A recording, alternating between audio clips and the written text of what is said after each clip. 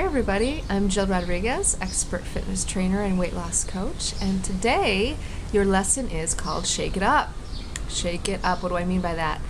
It means that your weight loss mistake is to keep on doing the same routine over and over and over again. And oh my goodness, I hear about this all the time. Some of my clients come in and tell me that they've been doing the same treadmill workout since they were 20 years old.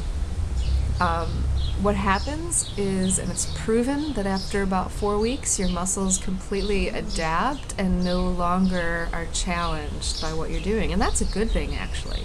But now that you know about this weight loss mistake, you can now shake it up. So, this is your tip.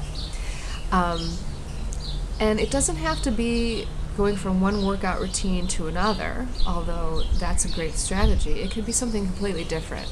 You could shake it up by um, taking a yoga class. You can shake it up by taking a strength training class. Maybe, um, let's see, uh, some of my clients like to go dancing.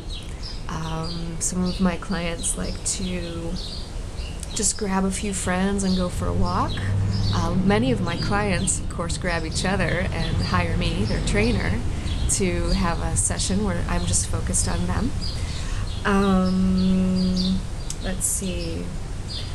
Even online, there are tons of uh, yoga podcasts, um, and there's the gaming systems. That the Wii is it um, the Wii Fit and the Xbox Kinect, just to name a few things that doesn't have to be your structured workout. Just uh, shake things up a little bit, even if it's for a day. But ideally, after four weeks, make sure that if you're in a routine, that you change it up.